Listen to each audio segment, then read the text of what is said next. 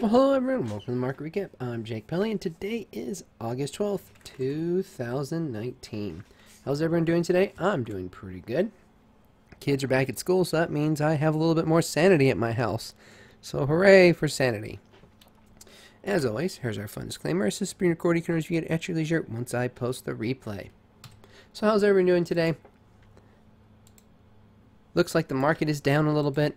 So if you were going long into the market, sorry about that. Looks like we got a little bit more pain. The Dow Jones is down 1.5%. We're going to round up there. The Nasdaq down 1.2% and the S&P 500 down 1.23. You can see pretty much once again we are looking at a sea of red. With our few outliners, you see our Netflix is up a little bit. We got our uh, CenturyLink was up just a little bit. MU is catching a little bit of a bid. A little bit of green areas that you can see in the market. Not all entirely red, but pretty much every sector taking a hit. Even utilities look mixed today. Now, looking at our volume here, look at this volume on briefing.com. Look at that NYSE volume. That is light volume. That is 300 million shares less than what it actually sees. So that's lighter than its actual light volume and you can see on our NASDAQ it was actually pretty good volume. So what's going on with the NYSE you can see right here stocks lose more than 1% economic uncertainty as dampens risk continues. And then they're they're citing Hong Kong protests and instability in uh, Italy and Argentina and lack of U.S. government trade uh, relations. So hello Bill. Bill Z. Hello Donna. Hello Pierre. Good to have you all here today can you look at ELS? ELS. Yes, I can look at ELS.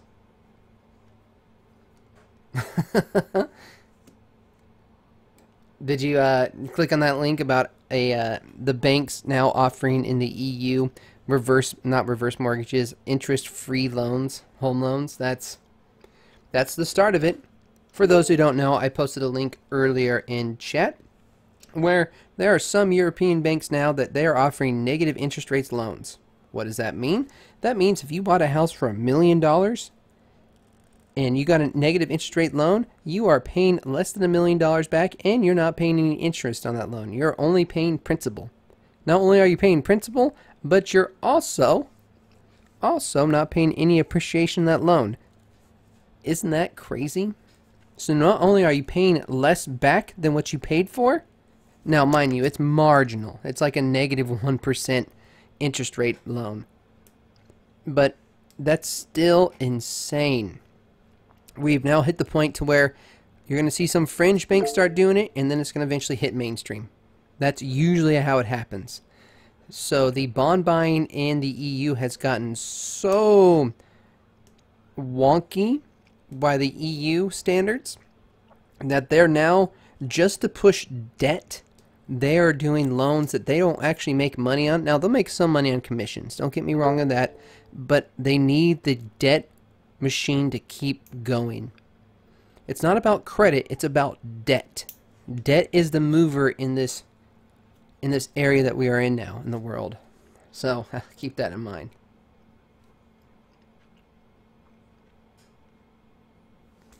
Uh, TSN. TSN. uh, negative interest rates pretty much said, say, you take out a loan with us, you have to pay it back less than what we you loaned from us. That's pretty much what it is. You borrow $100, you have a 1% negative interest rate loan, you pay back $99. Why is the banks doing that? Well, they just need to push debt. They need to keep liquidity capital going. They need to get that fluid in a pipe moving. And once it starts moving, well, that's a problem because credit spreads widen.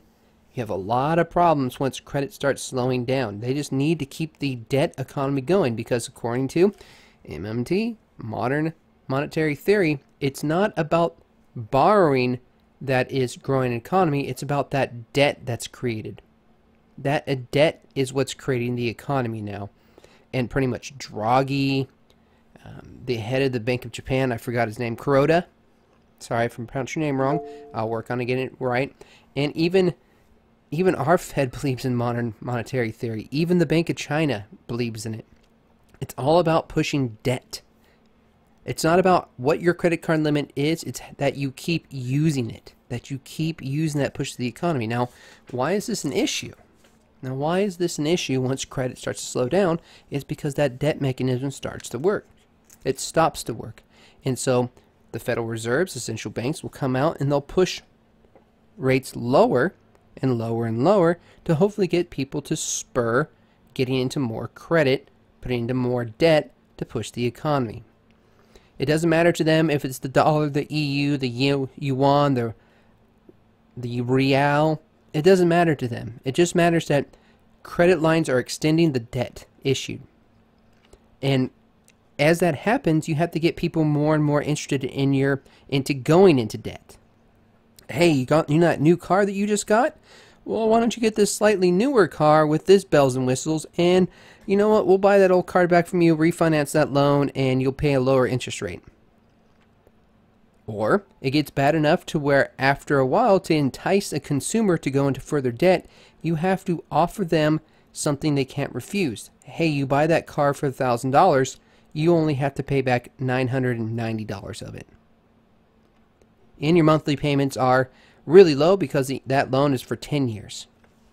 So you have to entice the consumer to continue getting into debt to move the economy. And we're hitting points now where everyone pretty much has everything they want. Everyone's in as much credit debt as they want to be in, and the paychecks of most average people have been bled so dry through little bits of cuts. Say, hey, you want that car? Well, instead of a seven year loan, why don't we do a 10 year loan on 2% interest rates instead of 5% interest rates?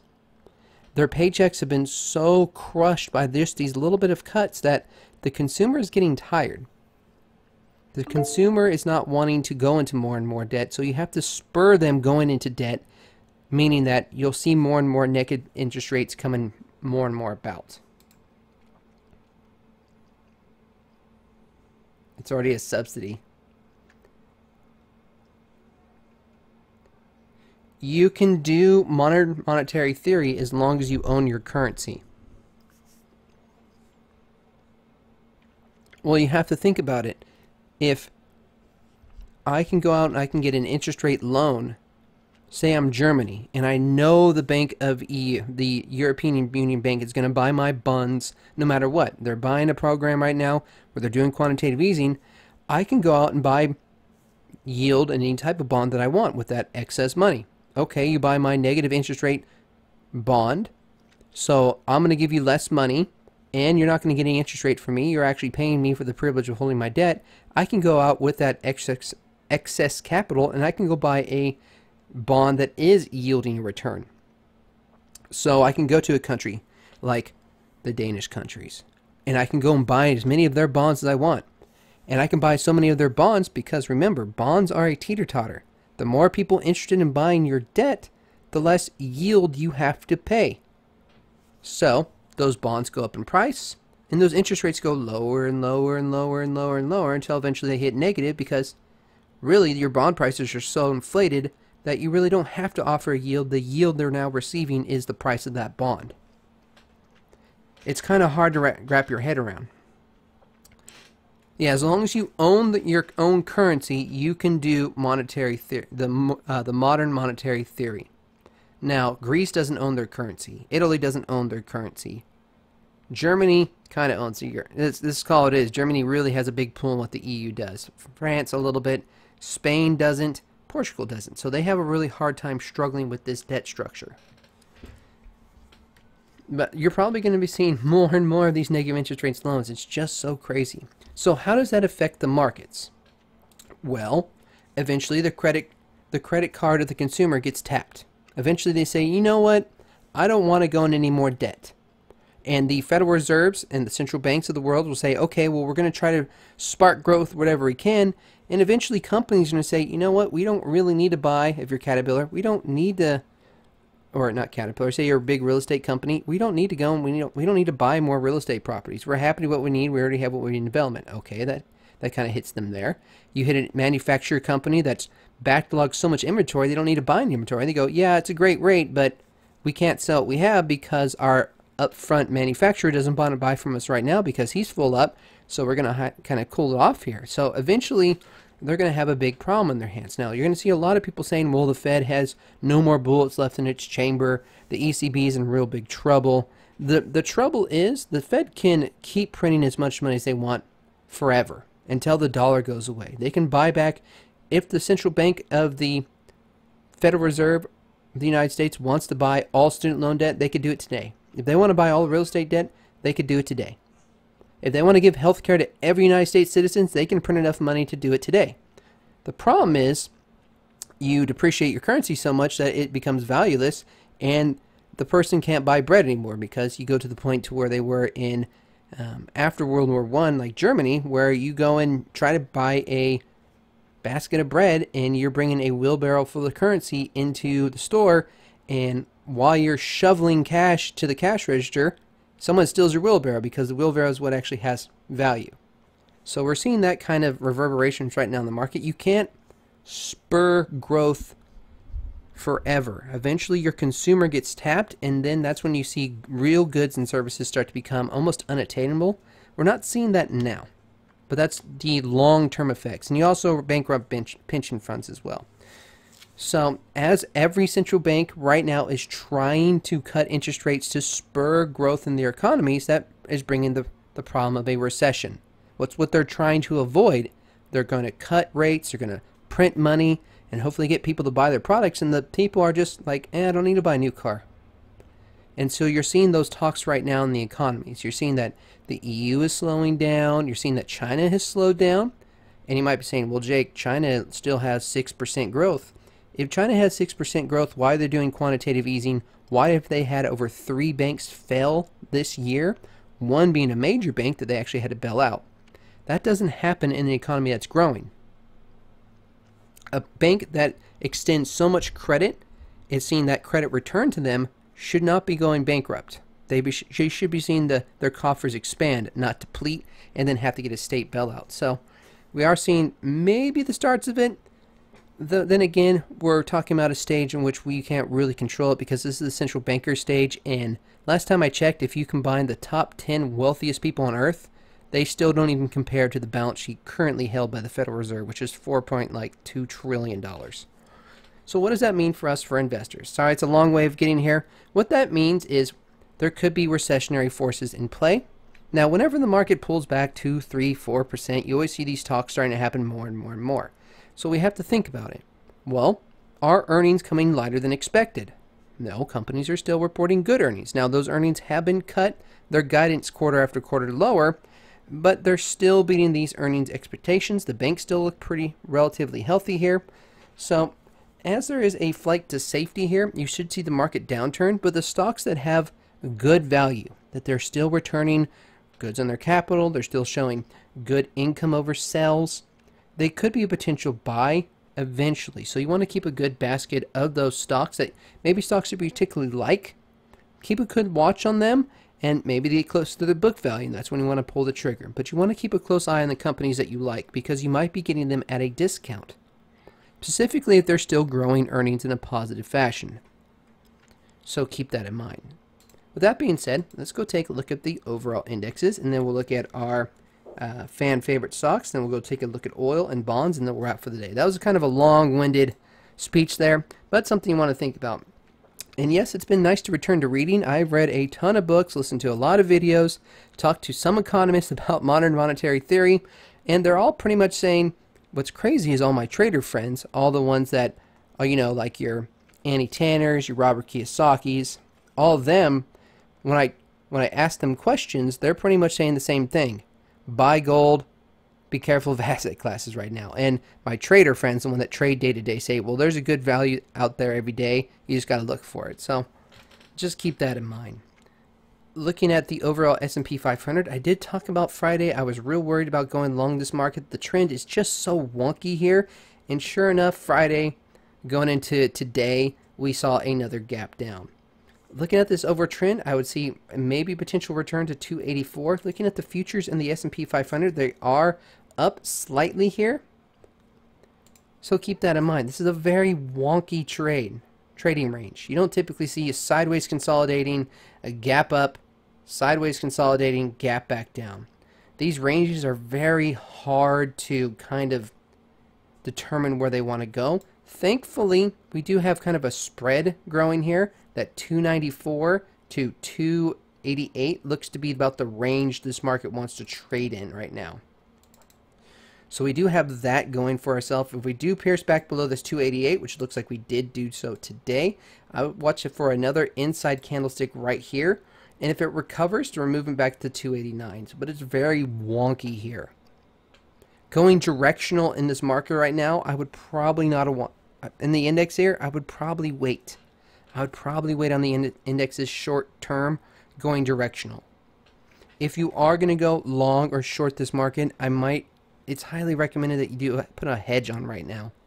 I would not just blindly go long this market without having some downside protection, and I would not short this market without having some upside protection. And you can see that a lot of the big traders are also doing that. We can see that in the VIX. The VIX returning back to 21 today. The fear market, the fear index jumped right back to 20 after this weekend where it jumped down to 17. Today it jumped to 21 again. So that tells us there is some hedging going on in the market, and two, there is some volatility in this market. So if you're trying to going, um, if you are looking to short options here, just understand this market trend is kind of wonky here, so you don't want to do anything that's uncash secured or has a upside or downside protection not built in. So you want to look at your like your credit spreads, you want to look at maybe your back ratio spreads, but you definitely want to have some type of secure position just in case the volatility expands because this market can really take off to the downside by one tweet. One tweet it can send the market down another 300 points. One tweet can send the market up 300 points. Any news that China is going to come to the trade negotiating table is going to be bullish for the market. Two, if the yuan stabilizes and we see a nice pop up to the yuan, it could bring the market up higher. So you have to keep that in mind. And three, we also have a lot of European data coming out this week here, and if Europe, the Eurozone is showing effect, it is seeing some recessionary forces, uh, the market continue, could continue to sell off here. And you can see tomorrow um, we have some Japanese data. Tomorrow we have CPI in Germany. We have the labor market in Great Britain. So you do see a couple of it. We also have Indian CPI, which that's going to be all sorts of wonky there. Um, their CPI is going to be wonky because they just cut interest rates, so just keep that in mind. You can see fixed assets for China, industrial productions. This will be an important one to look at in retail sales. So we do have some data coming out of China that you do want to keep a watch on.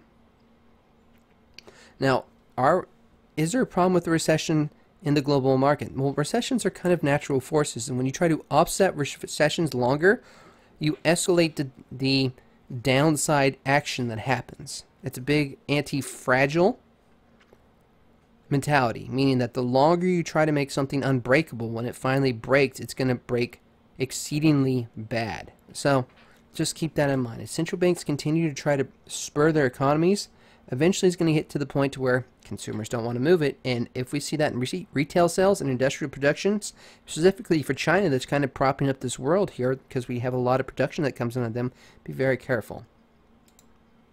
So, if you are going to be shorting some options here, you want to, one, have some downside protection built into your trade because if the market ratchets down really quickly, you want to have that protection already placed in that trade because if volatility expands here, it's going to get really expensive to go out and to either close that trade or look for that protection. So if you are going to be shorting options here, um, I would not suggest any type of position that is unsecured right now for the S&P 500, just because this range is really wonky.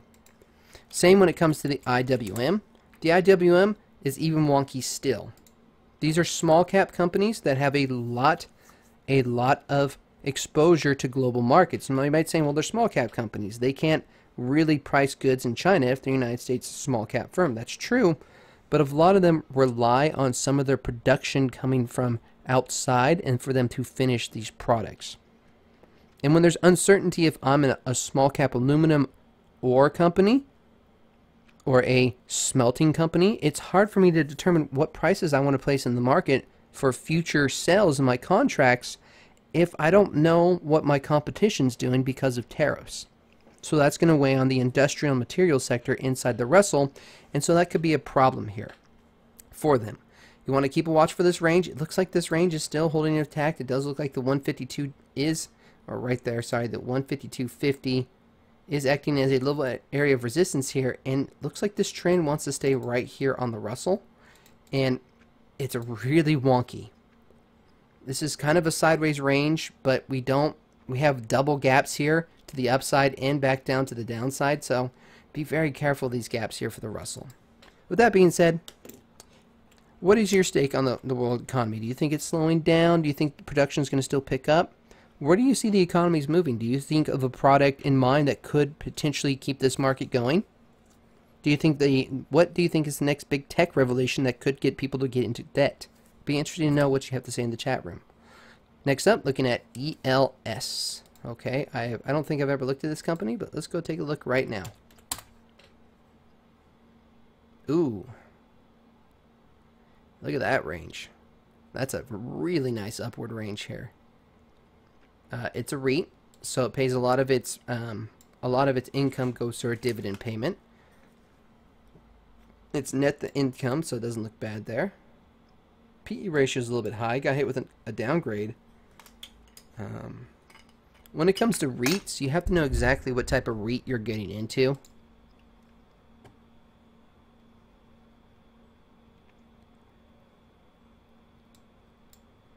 So they have 411 properties, 400 and oh, they have 10 employees for every one property they have. That's interesting. It's a lifetime property and leading owner operator of manufactured home communities, RV resorts, and campgrounds in North America. And vocational occupation opportunities. Okay. So it looks like it's a um, It looks like it's like vacation planning homes. Okay, interesting. I like the range in it, that's for sure.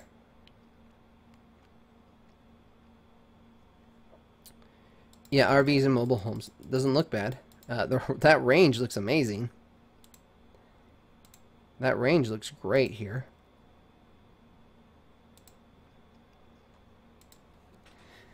You know, Pierre, I was I was thinking that, but I didn't want to say it. I did not want to say that at all.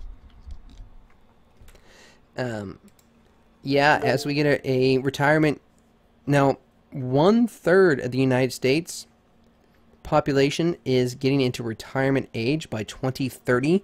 We will have one third of our population at retirement or past retirement. Past retirement being that 62 and a half cutoff from Social Security.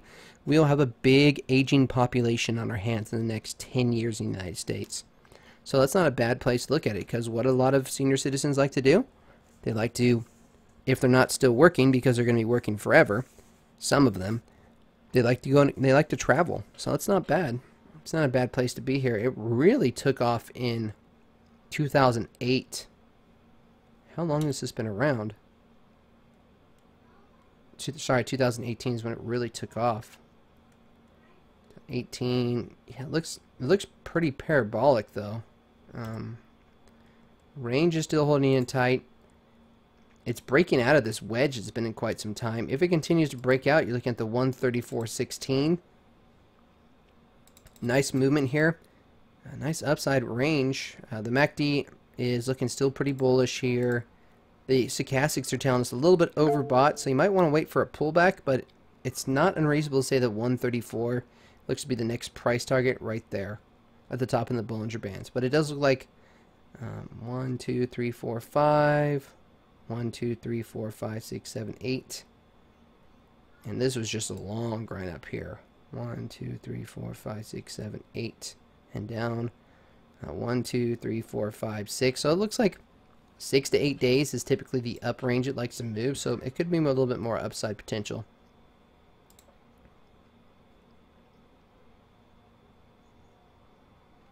And campers and RVs are very appealing. They are. Yeah, it looks like it's still continuing its up upward move here. Let's go take a look at um, ELS. ELS uh, pays a pretty good dividend. If you're wondering why the dividend is so good, it's because it's a REIT. REIT pays REITs have to pay anywhere from 70 to 90 percent of their income through the dividend. Through the dividend. So 61 cents. Um, let's see here. Its earnings are kind of hard to determine. Still looks like it has pretty good earnings. Yeah, 53% implied volatility percentage. Um, we are looking like, well, we're sitting right here in the middle of its range, so no real implied volatility is helping us.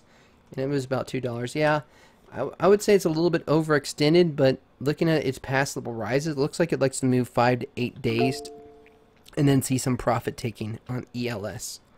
So I, I maybe watch for a pullback here, but definitely the 134 looks like it could be reasonable for the next target up. And then for the potential downside, I look for um, right here at the 120. Uh, let's go back to Wallstreet.io charts. Right there looks like the next level where I could pull back. It's about the 129, 130. Right there looks like that could be the pullback range. So keep that in mind, ELS.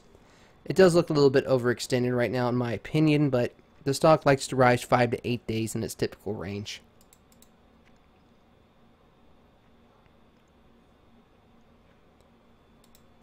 Let's see here, the best strategy you come up with. let that load for a second. Yeah, um, but not as good as owning the stock. Yeah, stock looks reasonable. The volume is really low at 225,000, so it's a little bit lighter than I typically like to trade. So you're looking at a little bit of light, uh, light volume there. Looking at the volume right here, you can see that its average volume is uh, 600,000. So we are below its average volume right now, which is interesting. What do a lot of people like to do during the summertime? Travel. And what does this REIT do? It's a lot of travel destinations. So it's interesting to see light volume here. Uh, insider ownership, nothing of note. Yeah. So the volume in the upper range is be my area of caution to potentially go up here. Going to be hard to own the stock. Uh, it's going to be hard to do options on the stock because look at that. Just because volume is so low. So keep that in mind for ELS. Hard to do options on it. Next up, let's go take a look at TSN. Then we'll look at bonds. Then we'll wrap for the day because the baby woke up from her nap. And the kids are getting crazy. You can hear them in the background right now. So, looking at Tyson Food, I believe Tyson Food just recently paired with uh, Beyond Meat, or they're doing their own type of, uh, I can't believe it's not meat burger or plant-based uh, chicken. see, Plant Fire. Okay, um, still looks pretty good. Man, I would think its income would be a little bit better than those sales, but still makes some pretty good, um, still makes a profit, so that's good. Volume actually pretty good today, above average volume. So when a recession happens, what areas of the market do you want to typically look at? You look at gold, you look at bonds, you look at consumer goods that the people just have to buy. You know, your toilet papers, your toothpaste, your food items. So, could be good for Tyson here for a continued bid up. Oh, okay.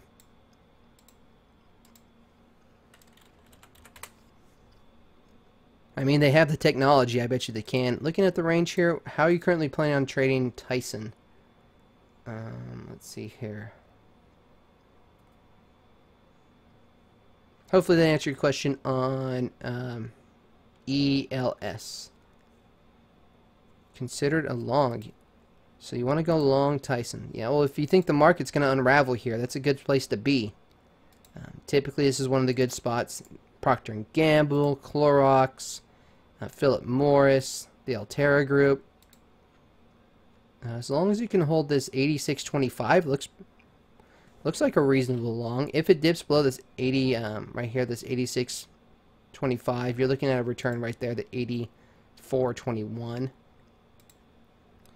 You can, you know, it's interesting. If we go back to 802 and we go look at the market at 802, isn't it interesting that we had that gap down? And then if we go look at Tyson, we we had that gap up around the same time. Let's go see if it has earnings recently. Um, it had earnings. Earnings were a miss. That's interesting. And it has a dividend coming out here on the 29th. So no real dividend risk yet. Uh, look at that dividend. Off its dividend, it went straight up, went down, went sideways, went up. So of the four dividends that we have here, one, two, and this, should be slightly up. It does look like it kind of grinds a little bit higher after its dividend, so that's three out of the last four times. It looks like the one time it did dip lower. Let's go take a better picture. Um, dividend dip, dividend dip, dividend dip. So that's not the case at all. So no real dividend movement here because three of the past four have been slightly upward movement, and then if we could extend it further to another four dividends, it looks like it grinds down. So that kind of cancels it out, so keep that in mind yeah, it looks like a good potential long. I would just keep a close eye on that 89 level. It looks like it has a really hard time crossing above 90. If it does continue to rise here, you're looking at a the Bollinger Band support about a 91.80. 91.18. If we go look at the weekly, let's go take a look at the monthly. Are we currently sitting at a lifetime? We're certainly sitting at a lifetime high for Tyson Food. Interesting. So it's going to be kind of hard to determine where I can move after this, these two standard deviation Bollinger Bands. So keep that in mind. Two red candlestick days on volume, and then we saw a nice reversal. That's kind of nice here. We are a little bit overbought, so you want to keep that in mind. Looking at the price of the options, we have 54% implied volatility percentage. Uh, overall, the ranges look like, let's see here, auto zoom here. We are looking like we want to grind back a little bit higher, so you might be able to get a little bit good premium in this options here. Understand there might be a, a slight Vega risk um, if volatility does pick up, look in the price of options. The 11 day out, uh, let's go 15 days out options. We can go 18 days too. You can sell a 91 covered call for about a buck, and you can sell maybe a downside put cash covered put about the 85. So there is option ability to play here. Um, if you do want to play it for Tyson Food. It is one of the sectors that typically does well in recessionary forces. So not bad. Not bad here for Tyson. Now, next up, let's go take a look at TLT. Then we'll wrap for the day here because I had to go be Mr. Dad. I gave my wife a nap. So looking at bonds here. Bonds once again is moving higher. Now, is there as there's going to be a flight to safety in bonds continuing from the rest of the world, bond prices will potentially keep to rising here. One thing I want you to take a note is the it's a little bit overextended to the upside. One, two, three, four, five, six. Movement down. One, two, three. We look a little bit overextended here. Only on the situation that we're currently sitting at. This is the monthly chart of bonds we're currently sitting at lifetime highs. So, what does that mean? That means bond prices have not been this low in yield in quite some time. That is kind of a problem for our Fed here. You can see right there 1.48%, 1.69% right there in the Treasury. So, Treasury yields look a little bit overextended. If there is a reversal in this market, be very careful in bonds. Reversal being China and United States get together and we hash out a trade deal. Well, people are going to be looking to move back into those big market caps like your Microsofts and your Apples. And bonds are most likely the ones going to get hit the hardest. So kind of be careful here. We're sitting relatively high. It does look like the 146.23 looks to be the next price target here because we're currently sitting at all-time highs. The range looks like it wants to continue to rise right there. You can see that we did break out of this previous area of resistance. So keep that in mind. Bonds, bonds still look like they want to rise here as we're getting close to lifetime highs on bond prices as bond yield continues to move down. Now say TLT looks to be a little bit too expensive for you right now and you're looking to maybe see a contraction in bond yields or see bond yields continue to uh, to move up here. You can look at TBT, but looking at the inverse of long long bond prices, and we're looking at long bond yields, you can see this one looks like it wants to break down here at 24. And if we go back and we look at a monthly time frame, you can see As far as I can go back right now, we have never been lower in bond yields. That's even since 2008.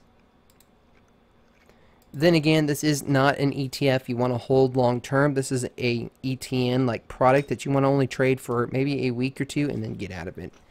So keep that in mind.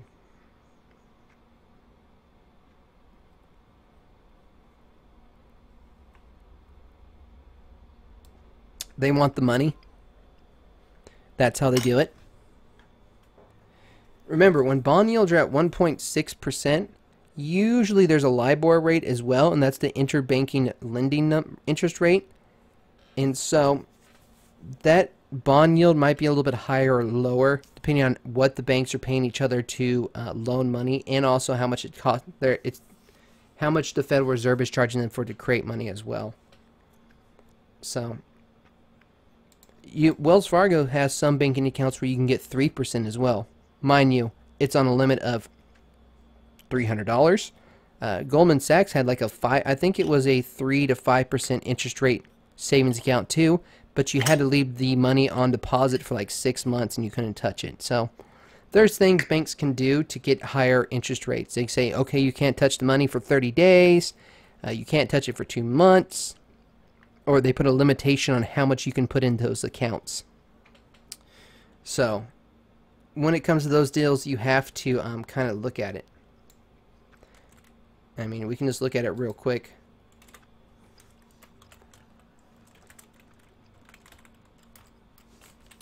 I mean, you can type it in real quick. Can you multiple cameras? Okay. Uh, 2%. No, it's going to be difficult with me. Okay. But that's usually the reason why. So last up, when it comes to the economy, you're going to want to watch tomorrow. You're going to watch for our retail sales and our industrial production coming out of China for the United States. And go back here. We do have a little bit of economic news coming out, but not too much. We have CPI, we have EIA coming out Wednesday really it's going to be what's happening on with China and also the EU. Any type of news of contraction out of the EU is going to be bad for the markets. So keep that in mind. So we're looking at a little bit more of central banks actions here because well we're well past earnings and because of that we have to watch global banks and what happens there. I know central banks, well, we got to watch them so much, but they're going to be a big driving force in what happens on the overall major indexes. There are still good deals out there for stocks. You just have to find them. A lot of you have some pretty interesting stocks, particularly those ELS and TSN. So there are good deals still out there, but you just have to find them. So keep that in mind. So keep a watch for the central banks and what they plan on doing this week if economic data comes in soft. Also, you're going to be watching trade news. Any type of news that comes out of China or what happens with the yuan will definitely affect our market pretty horrifically. So you want to keep that in mind. And I mean horrifically because it can either go up or down in either fashion. So keep on watching that range that I discussed today for the S&P 500 and the IWM. With that being said, though, this is your market recap. I'm Jake Pelly from Wallstreet.io. If you have any more questions, comments, concerns, I will be on the chat room for a couple more minutes as I hold this baby and try to get her um, happy. So until then, have a good rest night, everyone, and I'll see you back tomorrow.